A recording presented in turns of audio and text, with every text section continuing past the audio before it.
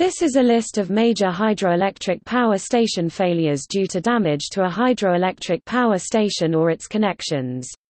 Every generating station trips from time to time due to minor defects and can usually be restarted when the defect has been remedied.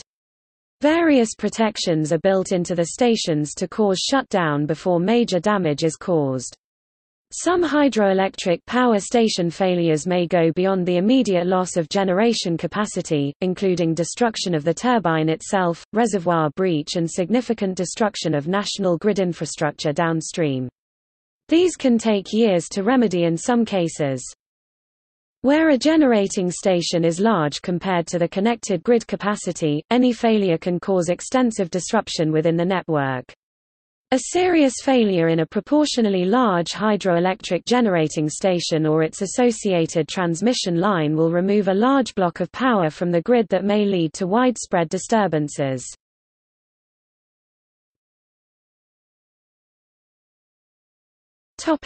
List of failures. Not listed here but need to be added.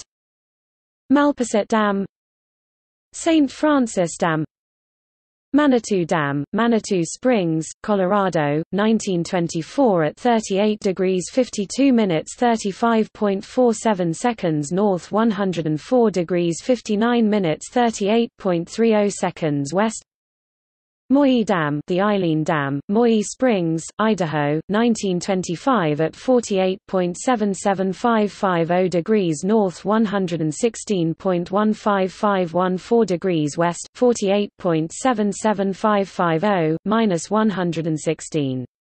15514 Old Eileen Dam Lake Lanier, North Carolina, 1926 Purisima Dam, California, 1930.